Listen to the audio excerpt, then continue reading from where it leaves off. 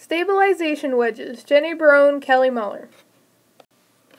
We believe increasing automobile fuel efficiency would successfully decrease carbon emissions because it is not costly to the average American, and it is not an inconvenience. Biofuel produces half the emissions coal currently does.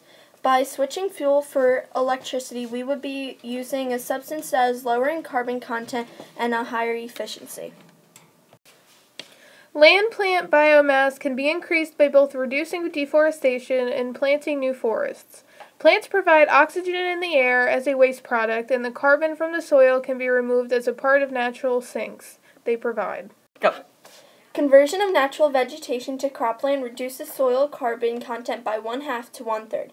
This would be a beneficial task because farmers could also profit from this newly agricultured land. An alternative to petroleum derived fuels is a coal based energy source called synfuels. These fuels require less energy and power to be gathered and refined compared to our current resource, petroleum. This would be an economically intelligent. Wind electricity is currently growing by 30% in usage each year. A green alternative to burning fossil fuels, wind electricity could power a large majority of homes and businesses. Carbon dioxide, currently used in plants and soil, can be converted into another alternative energy source called biofuel.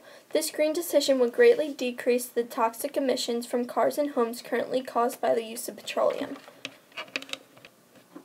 Solar electricity can be readily used by many homes and businesses. We believe many would participate in the use of this energy source because of the cost one would save after not paying the normal expenses of fossil fuel burning electricity. Judges' scores. We believe taxpayers and consumers would rate our plan a 3 because they would have to spend money and most do not care about going green. Energy companies would not want to change their businesses or spend money, so they would rate our plan a 2. Five points would be awarded by the environmental groups because many actions would be put in place to increase the quality of our world. Industrialized country governments may not want to be bothered to spend money to go green. These efforts may increase the quality of life for people in developing countries' governments.